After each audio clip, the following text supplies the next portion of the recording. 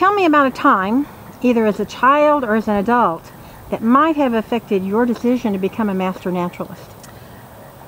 Well, you know, I think it was pretty much our whole lives, my whole life. Um, we were, my, my, dad was a hunter.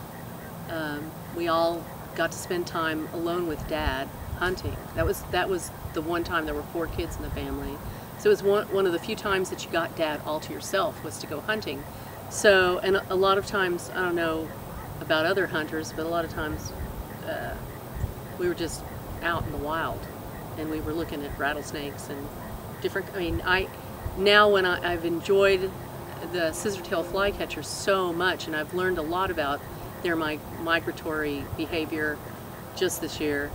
And, you know, my dad's the first person to tell me that's a scissor-tail flycatcher. Um, and so there's there's so much about what I do now that echoes has echoes from my childhood. Loving nature with my mother.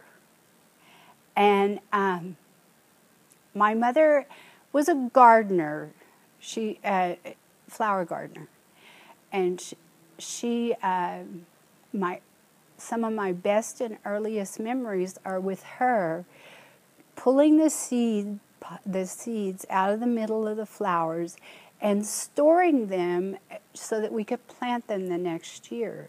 And I'm sure that some, you know, before I remember, she had cut them and dried them and so forth, because I remember them being dried. And uh, we stored them in little jars in her laundry room. And then when spring came, we would plant those seeds. And so while we were planting them, she would teach me about what we found when we turned over the earth the bugs, the worms, so forth. And um, so then when I would watch my little garden grow right outside the window, I fell out of the window one time watching my plants. and so I was very involved with those plants.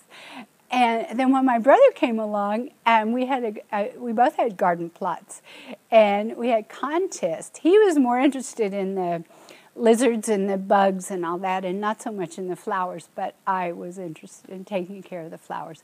So um, I've had my connection to nature early, and um, from an early age, and uh, and it's just increased in, and uh, I've become more involved with it.